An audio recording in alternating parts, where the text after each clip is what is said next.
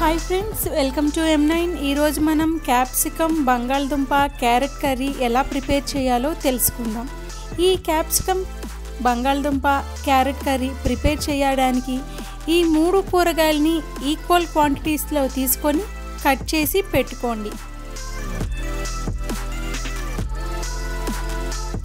తర్వాత stove on చేసి ఒక కడాయి పెట్టుకొని అందులో ఒక బౌల్ వాటర్ వేసుకోండి. దీనిలో కట్ చేసి పెట్టుకున్న క్యారెట్ క్యాప్సికమ్ బంగాళదుంప ముక్కలు వేయండి. కొంచెం పసుపు కూడా వేసుకొని మూత పెట్టుకొని ముక్కల్ని మనం ఉడికించుకోవాలి.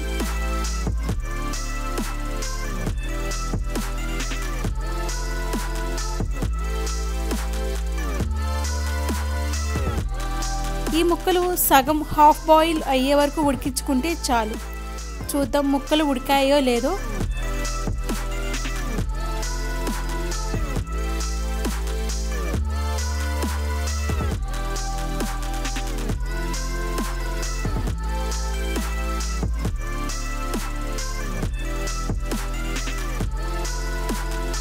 చూసారు కదా? బంగాళదుంప ముక్క కట్ చేస్తున్నాను నేను.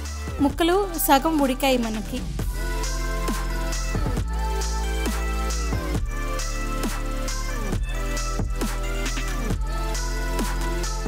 సో ఇప్పుడు స్టవ్ ఆఫ్ చేసి మనం వీటిలో ఉన్న వాటర్ని డ్రైన్ చేద్దాం. డ్రైన్ చేసుకొని వీటిని ఒక పక్కకి పెట్టుకోవాలి. అలాగే ఈ కూర ప్రిపేర్ చేయడానికి కావలసిన తాలింపు దినుసులను కూడా రెడీ చేసుకొని ఉంచుకుందాం. నేను ఈ కూర ప్రిపేర్ చేయడానికి పచ్చిమిర్చే ఎక్కువగా యూస్ చేస్తాను. రెడ్ చిల్లీ పౌడర్ అసలు వేయను. మీరు కూడా ఇలాగే వేసి చూడండి. కూర చాలా టేస్ట్గా ఉంటుంది. తర్వాత ఒక కడాయి పెట్టుకొని three to four tablespoons oil వేసుకోవాలి.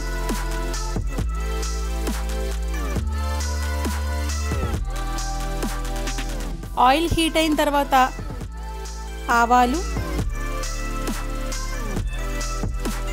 జీలకర్ర పచ్చిశనగపప్పు.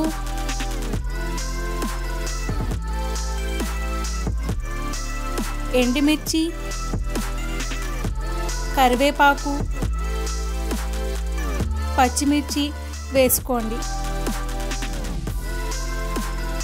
తర్వాత హాఫ్ బాయిల్ అయిన ఈ క్యాప్సికమ్ క్యారెట్ బంగాళదుంప ముక్కలు కూడా వేసుకొని కలుపుకోవాలి.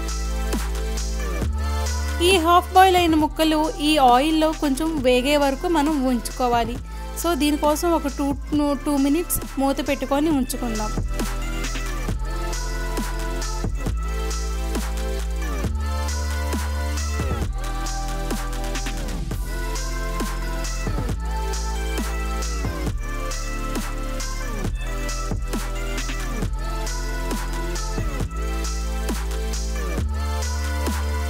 మినిట్స్ అయిన తర్వాత దీనికి కొంచెం అల్లం వెల్లుల్లి పేస్ట్ అల్లం వెల్లుల్లి పేస్ట్ ఎక్కువ వేసుకోవద్దు చాలా తక్కువ వేసుకోండి చాలు. అలాగే సాల్ట్ కూడా యాడ్ చేసుకోండి. కూరకి తగినంత సాల్ట్ మీకు టేస్ట్కి సరిపడా సాల్ట్ వేసుకోండి. వేసుకొని ఈ కూరని బాగా కలుపుకోండి. కలుపుకొని మూత పెట్టి ఒక ఐదు నిమిషాల వరకు స్మాల్ చిన్న మంటలో తక్కువ మంటలో కూరని మనం మగ్గించుకుంటూ ఉండాలి. మధ్య మధ్యలో మూత తీసి కూరని కలుపుకుంటూ ఉండండి. ముక్కలు మనకి అడుగంటుకోకుండా ఉంటాయి. ఈ ముక్కలు వేగుతున్నట్టు అనిపించిన తర్వాత మనం కూర ఆఫ్ చేసుకోవచ్చు.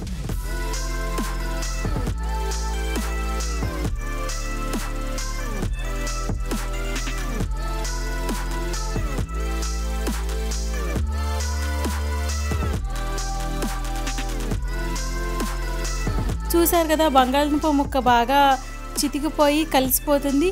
సో ఇలా అయ్యే వరకు ఈ కన్సిస్టెన్సీ వచ్చే వరకు మీరు క్యాప్సికమ్ బంగాళదుంప క్యారెట్ ముక్కల్ని తక్కువ మంట మీద చిన్నగా వేయించుకుంటూ ఉండండి.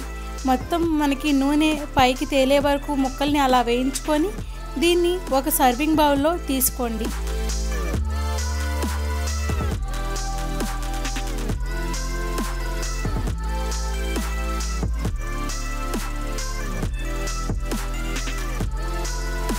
పిల్లలు చాలా ఇష్టంగా తింటారు. పెద్దోళ్ళు కూడా చాలా లైక్ చేస్తారు ఈ కూరని. మీరు కూడా తప్పనిసరిగా క్యాప్సికమ్ బంగాళదుంప క్యారెట్ కర్రీ నేను చెప్పినట్టు ట్రై చేసి చూడండి. చాలా టేస్ట్గా ఉంటుంది.